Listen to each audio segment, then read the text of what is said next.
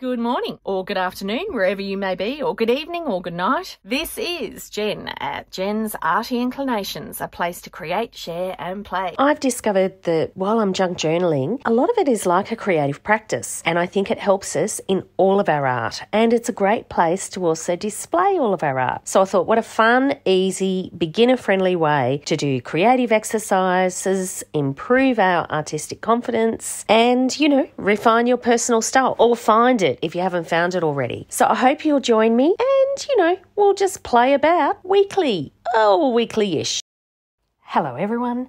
So today we're going to have a go at doing these burrito pockets.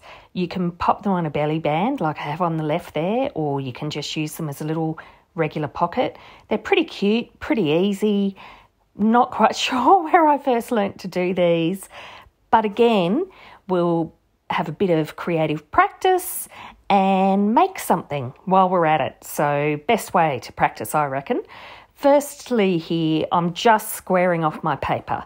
So, these do work best if you start with a square because then you get that nice diamond at the top. And all you do is you fold in the edges. It is as simple as that. So, you just meet the points in the middle and then you can fold them down. So I try and get the folds the same size on both sides. You can measure it to make it exactly right if you want to, but I just do it by eye. You can see I'm just refolding that a little bit because I didn't think it lined up quite right. Now, this first one, I'm doing this as a really big one because I had this gorgeous tissue paper that I thought would be nice to line it with. But I thought this would be really cute to use for some happy mail or something like that, you know, when you're sending things to people. So, yeah, probably a bit big for a journal or for the journals that I do. Uh, yeah, there you go. It is beautiful tissue paper, this. I actually got this in the uh, swap that Tracy Fox did, the scrap swap that she did recently. So my partner sent me that. Just so beautiful. Absolutely love it, and it works perfectly for this. So, this is something that you can do it with any paper. As I said, if you get a square, then that just makes it uh, sit right. And all I'm doing is I'm lining it, so I'm gluing it down first, and then I'm just going to trim off the corners at the top and bottom.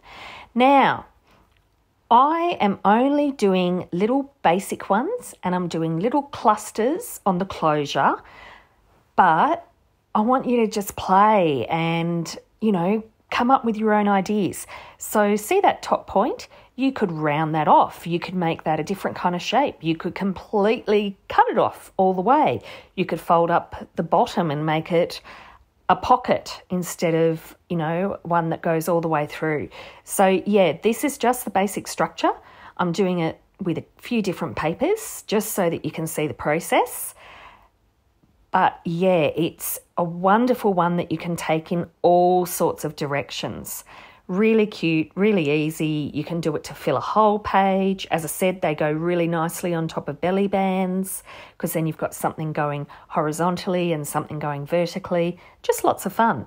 So here I'm snipping up some of my material. This is some hand dyed cheesecloth that I picked up and then I had this little tree button that I thought would be very cute on the top.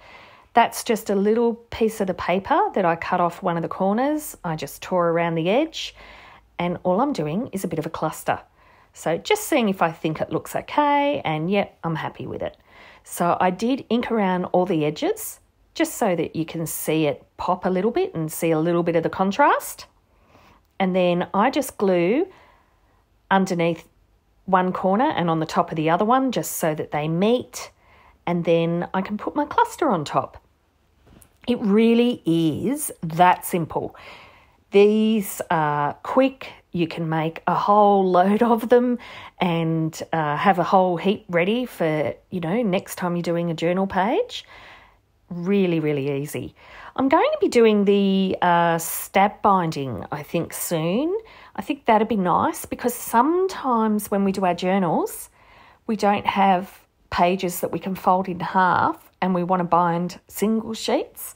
And it's really, really nice if the binding is decorative as well. So, yeah, again, when you do your step bindings, I'll, you know, show you how you can create your own patterns and, you know, make that a little bit differently. But yep, be patient. it may take me a little while to get there. So this is the first one basically complete. All I'm using is art glitter glue to put it all on and I just decided that I'd tie a string through the button and this is just a little wooden button as I said that is a little stylized tree. I believe I picked them up really cheaply off eBay, just a selection of them. I like doing that sometimes and these wooden buttons are nice because they actually sit quite flat. So even though there is some height, they don't bulk up your journal too much. And of course I put on too much glue. So so I had to blot it all up. So there we go. There is number one. As I said, it's huge. So I think it'd be great for a happy mail or something along those lines. That's what I was thinking anyway. So here's the next one. You know, those little, I don't know, maybe other people don't do this. I often buy those little square scrapbook paper pads because, firstly, they're reasonable uh, quite cute. I like the size. I often like the papers in them. So they're the perfect size to do these burritos, I discovered, because these will fit on most of my journal pages. Now, this time I did attempt to measure. I was using my mat to try and align the middle corners and then folding it up on the bottom. However, I I still got it off. See why I don't give you measurements? That's because I always have to change them and I never get them quite right anyway. And looking at the video here, I can see that it's still not exactly right. However, it adds a rustic handmade finish. It's fine if they don't match exactly, it's really not a problem. So on this one, I did some cheesecloth again and I had a circle punch, and this time I had a little chipboard shape that I picked up, you know, $2 shop, and I had used it as a stencil. So it had all these different paints and inks on it. So now it was ready to, you know, just put in as a decoration. Again, nice and flat, but still adding a little bit of dimension. So, sticking that down, how easy are they? I think that's one of the nice things about these is a little cluster on top gets you practiced at collaging and clusters and it's really obvious that it just goes in the middle there. So I think that makes it a little bit easier. The other way that you could decorate is you could decorate something along the back, you know, on the triangle that goes underneath, the diamond at the top and bottom. Yeah, there's a number of ways that you can play with these. But yeah, a nice little piece just to practice our clusters and to practice our little collaging. All fun, right? Okay, so here is the last one. And this is the one I think that I cut down a little bit because it wasn't a complete square. So when I've trimmed off the top of the paper pad, I haven't got it quite right. So that's no problem. You can fix that. So if you have one that's not quite square, just trim your triangles and then you can get it square. Or you might like the wonky look. Sometimes that can work really well, like, you know, in a fairy journal, something like that, where it's all a bit skew if and that kind of thing. So that piece that I did cut off the top, I'm using that across the middle. And then I had just a nice little flat wooden button that I'm using as the embellishment on this particular one. So again, inking around all the edges and I inked that strip as well. And I don't know why I inked the hole because I'm not going to see it, but I inked the hole in the middle of that strip. But as you'll see in a moment, it just gets covered up. So again, just another really simple way to decorate up a little burrito. And I don't know where I got the term burrito. Someone I was obviously watching called them burritos. Someone out there might remember um, who term them that or if that's the proper term for them. I don't know. But yeah, burrito because they wrap in on each other. So, isn't this nice for a square piece of paper? And the great thing is, if you use a piece of paper that's rectangle, the piece that you can cut off, or the piece that you do cut off, you can use that to help you decorate it, which I think is a bit cool. I just added a little bit of aging around that button as well. Again, I tied a piece of string in it and popped it on top. Now I think I did it just, yeah, so this, this, that was just a nice simple one. So those three were just with the buttons. Now, on the last one, I thought, well, I had this lovely book page on my desk, so let's make one out of that too. Book pages do these beautifully, and I really love the look of the text. I didn't square off the edge, I left the edges on the text there because I really liked that. And then I had a nice piece of music page, which was another piece that came in the swap, and I used that to line it with this time because I love the contrast of music paper and book page with the text. I think it's really cool. So, yeah, that's what I did. So, just kind of folding it and then I tore down the edge. So, again, no measuring. I am measuring to the piece that I'm using. So, when you work with scraps, oftentimes you find that you measure to the pieces that you're using as opposed to come up with an exact measurement, holding things up against each other, that kind of thing. Hmm, or maybe that's just me. But alrighty, so just tearing this down to pop inside the back there. I hope everyone is doing well. Goodness me, I cannot believe we are already in February, almost Valentine's Day. The year just flies by, doesn't it, nowadays? The older you get, the quicker it goes. I remember when I was a kid feeling like it was going to take forever for time to pass and always wishing your life away almost because you're always wishing that, you know, the holidays are coming or the holidays are going to be over soon so you see your friends again or, you know, all that kind of thing. Just inking up the music page a little bit here too to add a little bit of weathering into this one. And I don't know, I think as always, the last one that I did is my favourite.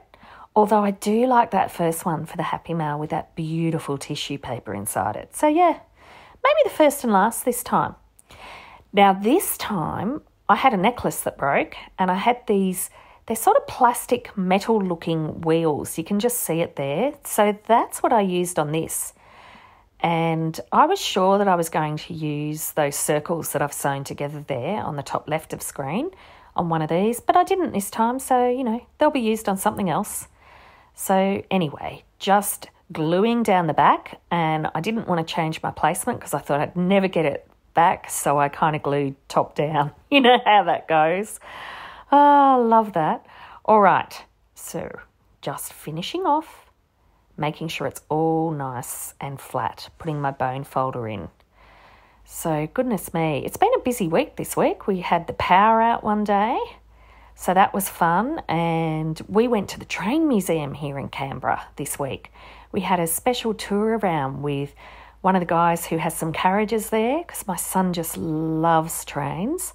So we got to see all the trains and we got to walk around the whole perimeter, like go through the yard, which you don't normally get to do. We got to see people working on trains. We got to um, go inside some carriages. He didn't want to leave. It was so much fun. Oh, I popped a bit of material on this one. So, yeah, that was really exciting. And then we've been to the zoo.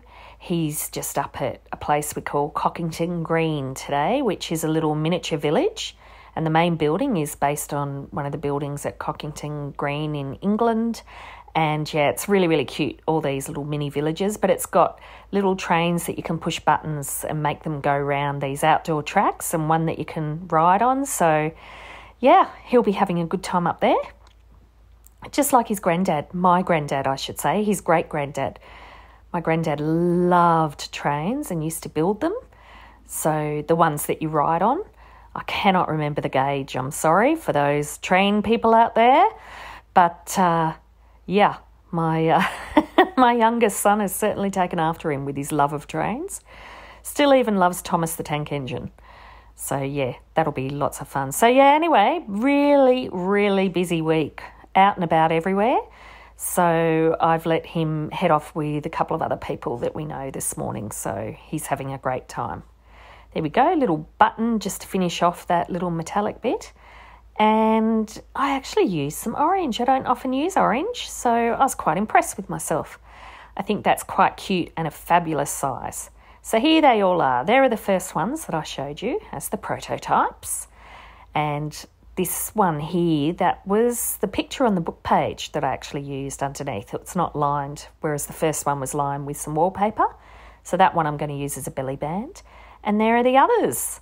So the other ones that we made. So I hope you enjoy having a go at making some.